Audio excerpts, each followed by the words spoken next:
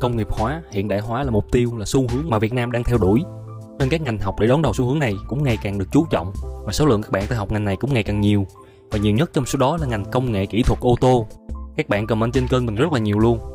Triển vọng của ngành này thì các bạn cũng có thể hình dung được thông qua sự phát triển của các doanh nghiệp lớn trong ngành, như là Thaco hay là VinFast, hay qua các thống kê về số lượng mua sắm ô tô, cũng như là các dự báo về ngành này trên các tờ báo về kinh tế.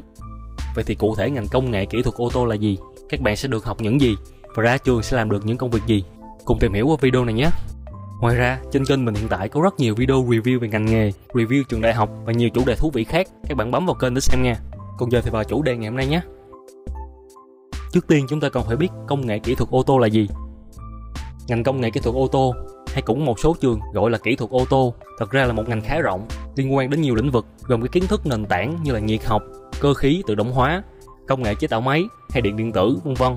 cho đến cái kiến thức chuyên sâu về ô tô như máy động lực cơ khí ô tô hệ thống điện điện tử ô tô hệ thống điều khiển tự động trên ô tô hay công nghệ chẩn đoán sửa chữa và kiểm định ô tô vân vân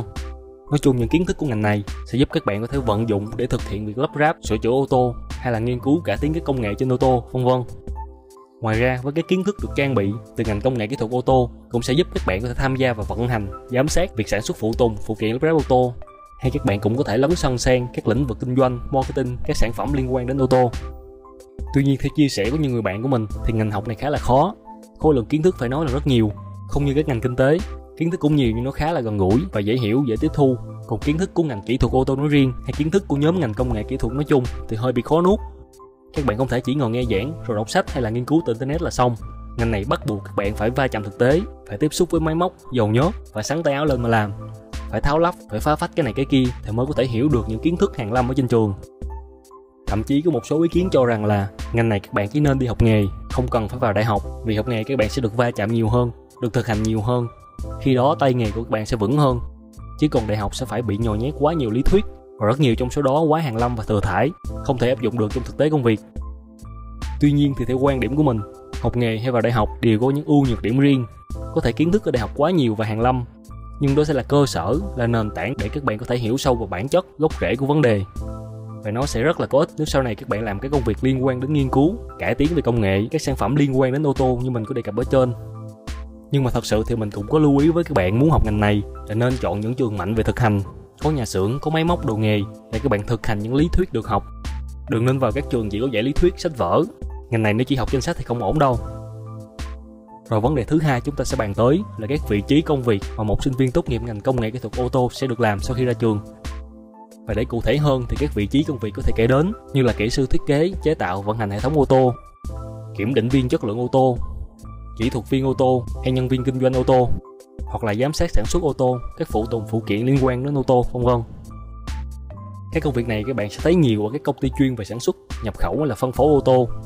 hoặc cũng có thể là ở các công ty logistics vận chuyển cũng được. Các công ty hàng đầu trong lĩnh vực ô tô có thể kể đến như công ty cổ phần ô tô Trường Hải hay thường gọi là Thaco,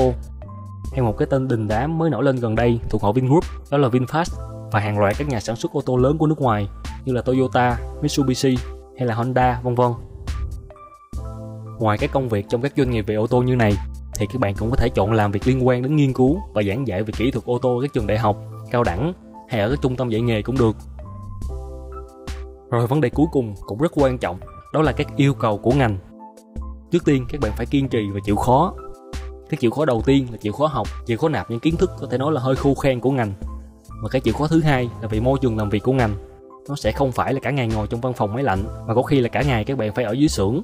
phải tiếp xúc với máy móc, dầu nhớt, tiếng động cơ, tiếng hàng xì, vân vân. Cái yêu cầu thứ hai là tính cẩn thận tỉ mỉ. Các bạn cứ hình dung, nhìn bên ngoài một chiếc ô tô là một khối hoàn hảo gọn gàng, nhưng bên trong đó là rất rất nhiều các chi tiết bộ phận, rồi thì hệ thống điện, hệ thống điều khiển. Để một chiếc ô tô vận hành trơn tru thì các chi tiết bộ phận và hệ thống này phải ăn khớp với nhau, phải được đặt để đúng vị trí, chức năng. Chỉ cần sai một phần thôi thì có thể ảnh hưởng làm hỏng đến cả hệ thống. Mà một chi tiết linh kiện cho một chiếc ô tô thường là nhập khẩu nên chi phí không hề rẻ. Nên tính cẩn thận tỉ mỉ có thể nói là bắt buộc trong ngành này. Cái thứ ba vì là một ngành kỹ thuật nên nó thường sẽ phù hợp với các bạn nam hơn mình không nói các bạn nữ không thể học, mà chỉ là như mình có trình bày thì cái công việc này đòi hỏi phải tiếp xúc với máy móc khá nặng nhọc, nên các bạn nữ nếu học sẽ khó khăn hơn các bạn nam rất nhiều. Và cái cuối cùng, đó là tiếng anh. Vì đây là một ngành có thể nói là chúng ta đi sâu thế giới, phải học hỏi rất nhiều về các quốc gia phát triển, các nước công nghiệp tiên tiến trên thế giới, nên để có thể học được các kiến thức đó và vận dụng được cho công việc của mình, thì các bạn cần phải đọc được các tài liệu của nước ngoài, các tài liệu bằng tiếng anh. Chưa kể, khi các bạn làm việc ở các công ty nước ngoài vì các bạn phải tiếp xúc với các kỹ sư người nước ngoài, gần như bắt buộc để có thể chia sẻ, học hỏi được từ họ, thì các bạn buộc phải biết tiếng anh nhé rồi, đó là các kiến thức tổng quan nhất về ngành công nghệ kỹ thuật ô tô một video ngắn, không thể nói hết về ngành nên có gì thắc mắc, các bạn cứ để lại comment nhé nếu thấy video này có ích, thì các bạn hãy giúp mình bằng cách bấm vào nút like và chia sẻ video này đến với những người cần nó và bấm vào nút đăng ký kênh và cái chuông để nhận được những video thú vị và bổ ích tiếp theo nhé. Cảm ơn các bạn. Hẹn gặp lại các bạn trong video tiếp theo.